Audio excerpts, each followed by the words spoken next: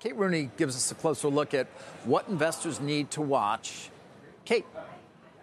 Hey, David. Yeah, so we'll look at the advertising business in particular. We do hear a lot about Amazon's cloud business, AI, but ads and advertising is a less talked about, but really a core part of Amazon's bull case. The bar is higher after Snap, Microsoft, and Alphabet all saw strong demand for digital ads. Investors are factoring in Amazon's move into TV style commercials and a paid ad tier for Prime Sports are also in focus. Prime Video will stream its first NFL playoff game next season. Bloomberg also reporting Amazon is close to a deal to bring NBA games to Prime. There's also more ad spending expected ahead of the election. They've also got ads embedded in Amazon's e commerce platform with keywords and then sponsored shopping. And in its latest report, or last report in Q4, ad revenue soared 26% year over year. That was double the growth of the North America and AWS sales segments. Wolfe Research now says Amazon makes up about 8% of total global ad spend. It expects that to outgrow the broader industry by 2x. And then UBS upping its price target last week, citing